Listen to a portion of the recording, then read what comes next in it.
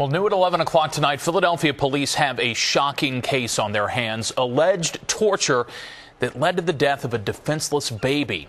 Eyewitness News reporter Valerie LeVake is live at police headquarters now with some details that are just hard to stomach, Val. They certainly are, Chris. The suspect is the babysitter, and tonight he sits behind bars on murder charges.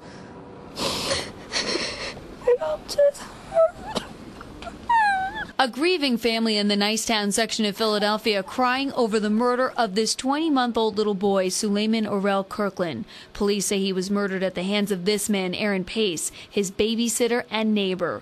The weapon, liquid Drano. The little boy's family tells Eyewitness News they trusted Pace with their child. He was supposed to be watching, watching our son.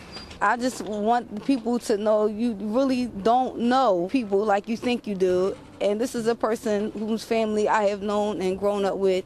Pace was babysitting the child in the 4500 block of North 18th Street when police say he used a rag to put Drano on the baby. We believe the reason was he was he was uh, he was frustrated. The individual was rest, uh, arrested was frustrated because the child was was crying and screaming because they had to take a bath. He put my son in a hot tub scorching water, and Suliaman had second and third degree burns on his body and died on Sunday.